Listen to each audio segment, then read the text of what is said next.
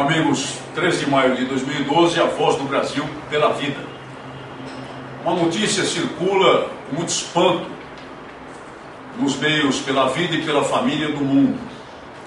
A Organização das Nações Unidas, através da Comissão sobre População e Desenvolvimento, sintomaticamente através dessa comissão interessada no controle populacional dos países periféricos, anunciou há pouco que poderá reconhecer os chamados direitos sexuais e reprodutivos para crianças até 10 anos. Crianças até 10 anos. Vamos nos lembrar que no caso do Brasil, a criança tem proteção especial, mesmo o adolescente tem proteção especial. E sob a nossa lei, o Estatuto da Criança e do Adolescente, a adolescência se inicia aos 12 anos. Uma pessoa com até 11 anos de idade é criança na acepção jurídica do termo no Brasil. Isso à semelhança da legislação de vários países. Essa proteção especial é realmente necessária, não só no âmbito da vida familiar, como no âmbito da vida escolar, como no âmbito de toda a vida social, porque se trata de uma pessoa evidentemente frágil. Assim entende a lei. Essa é a doutrina, que agora parece que querem modificar querem jogar as crianças no torvelinho da atividade sexual precoce permitida pelas leis internacionais.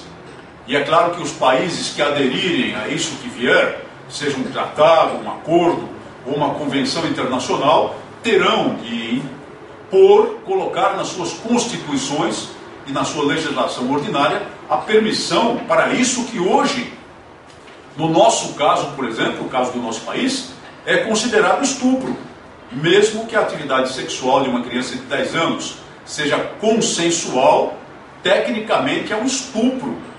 O maior que participa de atividade sexual com uma criança de 10 anos, de 11 anos de idade, comete estupro, porque o nosso entendimento jurídico, e é correto, afirma que essa pessoa de 11 anos de idade, 10 anos de idade, 9, não tem discernimento para consentir a respeito da atividade sexual com ela, para consentir a respeito de sexo, para decidir a respeito do envolvimento com práticas sexuais.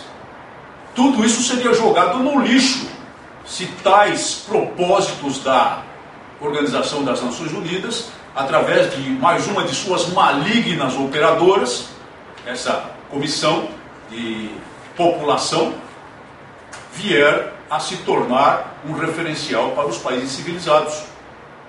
E do que e, e disso resulta o quê?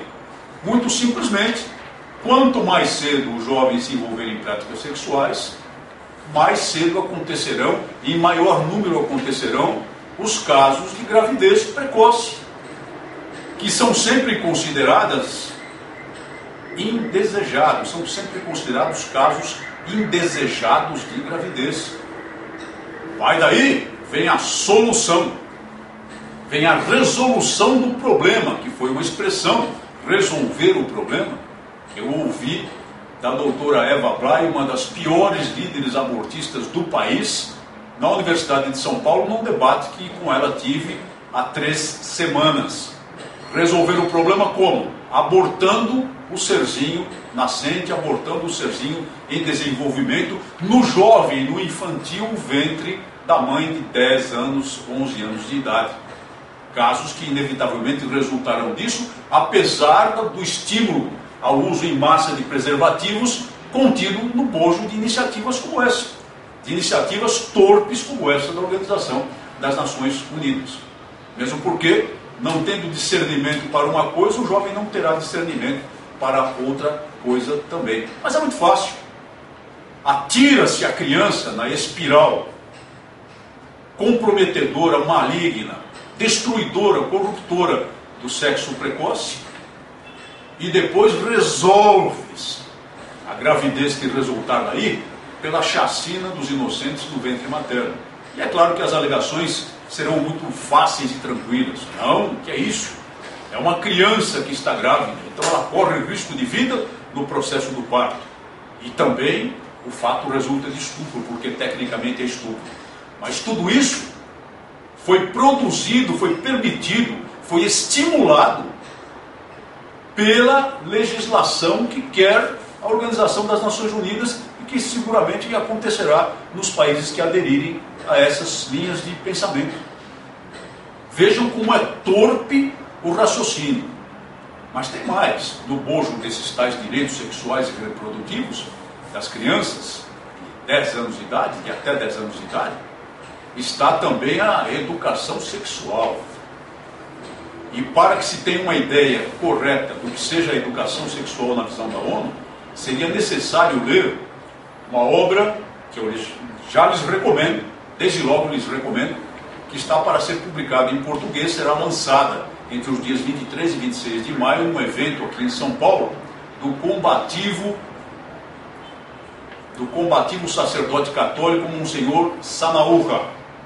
Essa obra, cujo título provisório em português é Poder Global e Religião Universal, porá a nu todas as tramas de controle populacional, porá a nu todas as tramas relacionadas à chamada religião universal e as manobras de criação de um governo mundial, as quais incluem o parte, apenas uma pequena parte de seus mecanismos, a separação das crianças da família, a eliminação da autoridade da família sobre as crianças, a eliminação da, da, autoridade da família para defender e preservar as crianças da atividade sexual precoce, e se traduz em documentos da ONU que dão a cartilha dessa educação sexual, que tem, entre outros pontos, ensinar os meninos a prática de sexo anal dito seguro. Sexo anal dito seguro. Ensiná-los ao uso de preservativos. E para que adquiram rapidamente o gosto pelo uso dos preservativos, o uso de práticas de sexo, também o estímulo a práticas de sexo oral com o uso de preservativos com gosto de frutas e de doces. Monsenhor Sanaúba especifica cada uma dessas resoluções, esmiuça-as e cita-as em sua obra, que logo virá a lume, cuja leitura eu recomendo a todas as pessoas de bem. Não está oculto o propósito da ONU, está lá claro com todas as palavras, todas essas, todas essas torpezas, toda essa violência que se praticará sob o patrocínio do Estado, se vigorarem essas decisões da ONU, são voltadas contra crianças, contra pessoas que ainda não têm discernimento, que ainda não podem discernir sobre essas coisas. Então nós temos que nos aprestar contra isso. Nós temos que exigir autoridade familiar, nós temos que afastar as ameaças de supressão da família e da educação das crianças. E nós temos que impedir que cheguem ao poder pelo nosso voto qualquer governante, qualquer mandatário político que participe ou que apoie políticas malignas desse jaez com origem na Organização das Nações Unidas.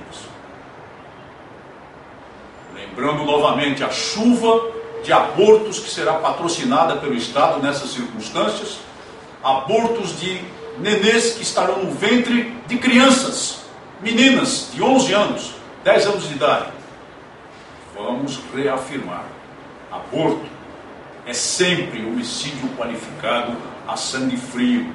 E pode ser homicídio qualificado a sangue frio patrocinado pelo Estado.